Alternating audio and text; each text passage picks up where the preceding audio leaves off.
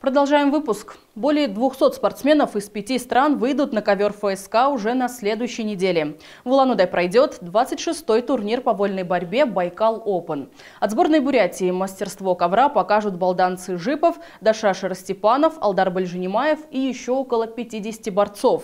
На протяжении 26 лет наш турнир проводится. А, Федерация общероссийская знает о нас. А, Более того, наш турнир включен международный календарь спортивных а, соревнований по вольной борьбе. Призовой фонд турнира более 3 миллионов рублей. Его разыграют в 10 весовых категориях. Для победителей есть еще один приятный бонус. В этом году Федерация борьбы России включила наш турнир Байкал Open а, в критерии отбора к чемпионату России. То есть чемпионы в весовых категориях получают право а, выступать на чемпионате России. Соревнования пройдут в ФСК с 12 по 13 апреля. Вход платный, возрастное ограничение 6+.